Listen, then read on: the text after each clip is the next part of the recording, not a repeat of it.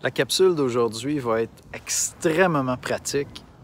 Peut-être pas très très profonde, mais extrêmement pratique. J'ai eu un flash.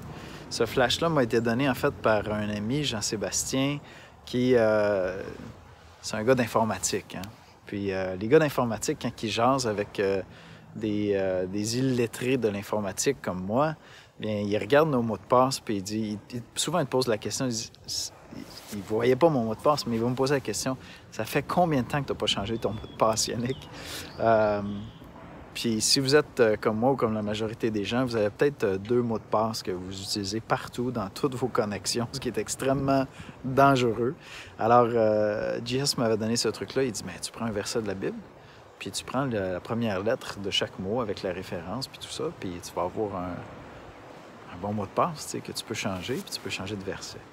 Le flash que j'ai eu la semaine dernière, c'est que je me suis dit, on veut comme Église, hein, les chrétiens, on veut grandir dans notre méditation des Écritures.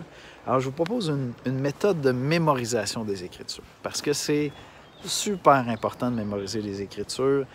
Pas nécessairement des grandes sections, ça peut être juste un verset, mais ça fait partie de la méditation.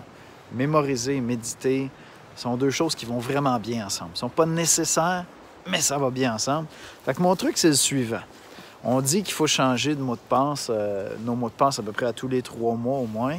Fait que moi, je vous propose de vous prendre un bon verset, deux bons versets, ça vous fait deux mots de passe à mémoriser, mais juste mémoriser votre mot de passe avec votre verset, ça va vous permettre de le faire.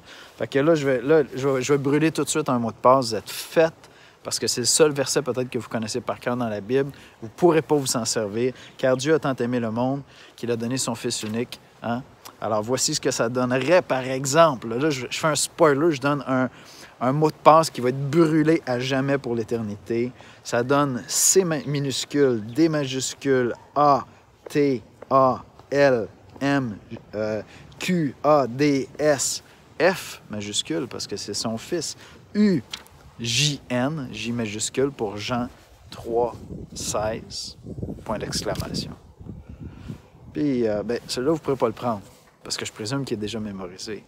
Puis, je vous dirai pas le mot de passe pour le verset que moi, je suis en train de mémoriser, mais il était, euh, il était dans l'exposé biblique de dimanche dernier, par exemple. Un petit truc pour mémoriser les Écritures.